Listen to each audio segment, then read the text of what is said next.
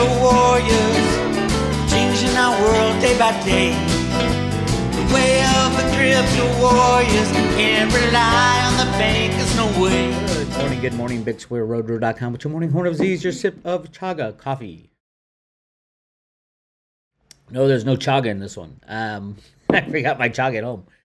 It's Valentine's Day, so I took the wife out to a lovely spot on the beach where we can hang out and be romantic, I guess. Is that the idea? With our dog. Um, I want to talk briefly about silver. If you guys haven't seen my discussion, haven't seen my discussion yet with um, the men, Andy Schectman and Jean Claude, over at Beyond Mystic 2 or 3. Beyond Mystic 3. Go check it out. And I, I'm going to play for you a little part that just came to me about why right now is the greatest time to buy silver in the last 170 years. So listen up, and then I'll talk about where we are as far as what's going. Back- I, back I. I think I just want to leave you with this. Um, I think right now, and this I'm going to tell you why I think that right now is the number one best time to buy silver in the past 170 years. The main reason is you won't have to wait long Mm. we have a situation where the commercial shorts are still short. They have to close out those shorts at some point. But now we have something that has been laid on top of that short position, and that is an 800 million ounce lease silver that needs to go back to JP Morgan. Now, mind you, I think it was 30 million ounces were delivered from Bank of America to JP Morgan last um, in, I think it was the December delivery month Yeah. these leases that JP or that uh, B of A took out, they're all less than one year. This started 18 months ago. So now is the delivery time. Not only are they going to be competing for silver bars from you and me and, and all of us, they're going to be competing for silver bars from uh, what's that company called? Um, that the company that bought one third of SLV last year, um, Private Advisors. Group Uh, advisors group. Yeah, yeah, yeah. they're going to be competing for the silver from SLV investors. They're going to be competing for silver of COMEX investors. And when it breaks the 200 day moving average, they're going to be competing for silver for the uh, tech investors in silver. Who in their right mind would sell any silver at that point with all these people competing for getting their hands on some silver? There's no one left. JP Morgan surely is not going to start selling. They they took 10 years to buy up 1.2 billion ounces. Mhm. So I, I think right now, this year, because of all these, the perfect storm in silver is here. This year is the time, and right now is the time to buy silver, get it in your own possession, and then watch the fireworks. There you go. Um, I did miss. I misspoke about one thing. It wasn't 30 uh, ounces that was delivered by Bank of America. JP Morgan's quote customers took a lot more than that. Um, but it was 25 million that was delivered just by Bank of America in December, their largest delivery month ever. Um, yeah, it is. It's there's so many reasons to buy physical silver, and the biggest reason is it's the bank killer. I mean, if you want to end these games of the the fiat monetary system and the Rothschilds and the the central banking cabal and the you name it, buy silver. That's the only thing that can kill them. Um, remember, like in the Hunt brothers situation in 1980, they had about 110 million ounces of physical silver. 110. Remember, J.P. Morgan now has amassed 1.2 billion, and they said the Hunt brothers were doing something illegal back then, and, and basically locked them out of the market, change the rules on the COMEX to drive the price down. We are now at less than one half of that price back then. It was fifty dollars back then. It was fifty dollars in 2011 when J.P. Morgan brought the price of silver from twenty dollars to fifty dollars, and then slammed it back down to twenty by putting their guy Bill Daley in as uh, Barack Obama's chief of staff. That was all in one year. It was operation. I called it Operation Silver Slam. And anybody who was in silver at that point, oh my God, we're going to break 50, and everybody got excited. That started an artificial bear market that we're still in today, truthfully. Now you, you could say, no, Bix, we're in a bull. Okay, okay, so we're in a bull. Bull, bear, doesn't matter. It's it's the amount of derivatives being allowed to be thrown at these markets.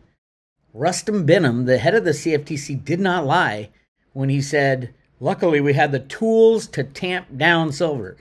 A regulator has tools to control the price of silver so it strays from its fair market value. Welcome to America. And at the end of this month, no, end of next month, they'll be down to just one CFTC commissioner. they're supposed to have five. They are not refilling them. You know, a lot of people saying, "Hey, Biden administration is not a real administration, so what does it matter?" True, but they're at least pretending they're doing something. Uh, Dawn DeBerry Stump gave her notice a year and a half early. And yet, on the CFTC website, believe it or not, they say Dawn DeBerry Stump will be fulfilling her five year role at the CFTC. It's like they can't even do math. She's not, she hasn't even hit four years by the time she retires, which is this April. It is insane how stupid they think we are and how stupid we know they are. This is the, the regulator that, of the CFTC. They're down to one, just one. Rostin Behnam, and he's, he's just a spokesman for the banking cabal. Anyway, yes, I think it is the greatest time to buy silver. But at the same time, they can click a mouse and put zero to negative $40 like they did in oil. So, but silver is better than oil as an investor because you can take it in your own possession. You're not going to take 50 barrels of oil in your own possession unless you have a place to store it, right? Silver, you can get it and take it into your own possession. Scream at the regulators when they are derelict in doing their job. Expose JP Morgan and Bank of America as the criminals that they are. All this can be done by you today just by buying physical silver. Go to your local coin shop. Say, hey, I hear the price of silver is low. I want to buy as much as I can. Load up your car and take off. If you don't have a local coin shop, contact Andy Schectman at Miles Franklin. Send him an email, Andy, A N D Y, at milesfranklin.com, M I L E S F R A N K L I N.com, and say, I need physical silver. I like to get what he has in inventory because you never know when this game's just going to freeze up and end. But now, I mean, I, I love railing against price suppression of silver, but truthfully, it's the biggest gift to mankind. You can still get silver for under $10,000 an ounce. You can tell your grandkids, I remember watching this guy on YouTube years ago, and he said I should buy silver, and the price of silver is now $20,000 an ounce, and I bought it for under $30. It was unbelievable. It was like giving away free silver. Imagine buying gold at like $20 an ounce, and now it's at $1,800 an ounce. Silver is like that on steroids. On steroids. So here's where we are. As far as the tech traders, what are they doing? Bank of America is trying to keep that price down. Remember, all the Bank of America leases expire in one year. They either have to renew them or they have to pay back the silver. And we already saw in December that they paid back on the delivery date. So when's the next delivery month? February, March. Delivery month for silver. Watch what Bank of America does. Watch how much silver they have to deliver. It's going to be shocking. Shocking, I tell you. And then, I mean, throughout all last year, they were writing one year silver leases to the tune of 800 million ounces plus. According to Ted Butler, actually, no, it's according to the OCC data, Office of Comptroller of Currencies, who gets this data so they can regulate it, and they, they did nothing.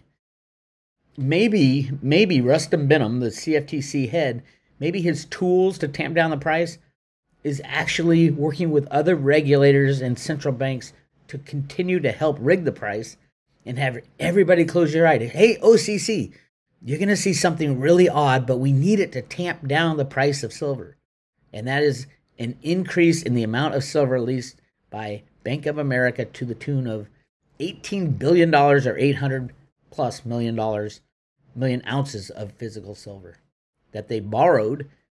They borrowed, meaning they have to pay it back to JP Morgan. Now, there is talk that that uh, they did a deal, a little side deal. They colluded to say, okay, we're going to lose money in silver, but we're going to get this big long position in gold, and it will net net turn out even. That's collusion. That's what J.P. Morgan is supposedly the CFTC or the DOJ is signed an agreement with them that if they commit any more crimes, they will be held account, held to account, and this that would be a crime. That would be collusion, and price fixing and price setting and you name it, there's so many crimes that that is. But our big problem is the CFTC is the one who's supposed to, they're supposed to be regulating this market, and instead they're helping They're helping to set the price of silver. It's insane. So here's what the tech traders are looking at. The 100 the 50 day, 100 day and 200 day moving average. You can see right here the 50 and 100 have been breached. And the 200 because they've been suppressing for so long, it's below $25. It's at 24.32. So what happens when it hits this number? It should have a little jumps, like these little spikes. You see the spikes that happen? This happens because all the tech traders who are short have to close out their short and go long. And in that situation, you need a seller. Last year, it was Bank of America. Bank of America stopped the Wall Street silver guys. Well, we know it was Private Advisors Group now, but the Wall Street silver guys literally have been able to talk to to regular Joes like you and me and say, hey, there's something fishy going on. And it's more than fishy. And take advantage of it. You need to take advantage of this criminality. Because this is all about controlling the system and controlling you and your life. I love what's going on in Canada with JC. By, Who who'd have thought the Canadians are the ones to break free and demand their freedom from a criminal government? It'll happen here too. Just wait till everybody loses their savings account, their checking account, their 401k. You think there'll be any anger at our politicians and our bankers? it's coming. Just hang on. Speaking of anger, California still has a mask mandate. It expires tomorrow. Did you see anybody at the Super Bowl wearing a mask? There was nobody wearing a mask. And all these lefty, liberal, pathetic people, oh, you have to get vaccinated. You have to wear a mask. All of them. None of them were wearing masks. Check out this. Check this out. Here's here's a, a, a fun list. We're in Hollywood. Who do we got here? We got Jay Z. Where's the mask? Matt Damon. Where's the mask? Charlize Theron is here. Where's the mask? LeBron. LeBron. Where's the mask? J Lo, Ben Affleck. Ben? They don't look like they're eating or drinking anything. Emmitt Smith. Where's Smith. the mask? There you go. There's my kind of celebrity. Yeah, now we're talking. I mean, where else would they be? It's crazy. My favorite though, L.A. Mayor. This is the guy who's been screaming, "You have to wear a mask. You have to wear a mask." And the classic, Ellen DeGeneres, the the lefty of all lefties. No mask, but she requires everyone in her audience to wear a mask. Anyway, that's it the uh, the California mandate expires tomorrow, and I mean it's hard to believe, but yeah, I live in Northern California. They still require a mask when you walk into a restaurant. It's insane. And then you sit down and you take off your mask. Well, all this bullshit is gone tomorrow. Well, they, are going to say, "Oh, uh, if you're unvaccinated, you have to wear a mask." Um, are they going to be checking papers like in Nazi Germany? I don't think so. It's insane. The whole thing was insane. Thank God it's over. And the politicians need to be held to account for what they did, in my opinion. Politicians, the pharmaceutical companies, oh my God. I mean, they are literally. Fauci needs to be in prison forever, if you ask me. Anyway, that's it on the Road to Roota. This is Bix Weir. Join the Road to Roota, get all the inside information, the backdoor information, uh, find out what's going on in silver in Theta, Theta, Theta Fuel, Theta Drop, What's the next theta? There's gonna be there's gonna be another one. You know it at some point. And bravo for those of you who got in early. If you still haven't gotten in, it is still way early. Still way early. Theta is a tech company. It's it's it has very little to do with cryptocurrency, if you ask me. Anyway, we're giving away 50 T Fuel loaded on a paper wallet for every one year membership. Go check it out. Go to roadtoroota.com, hit subscribe today, and you get a free, not free, you get $299. You get a full one year subscription to all the back backdoor information, the private road, and uh, we will send you 50 T fuel. We at one point we were sending out 0.1 Bitcoin. That's now worth what four thousand two hundred dollars, and we're sending we're sending out one very now worth 80 90 dollars. Very will be very interesting. Um, in a de- if everything crashes in a decentralized world, patents won't even matter. But if the regulators do come in, patents will matter. It's it's very complicated, and nobody wants to be the first to sign up with them. So we'll see how that goes. It's it's my hedge against uh, against other cryptos not falling in line with what uh, the SEC wants. We'll see. We'll see what happens. This is Bix Weir, roadrunner.com. I'll talk to you later.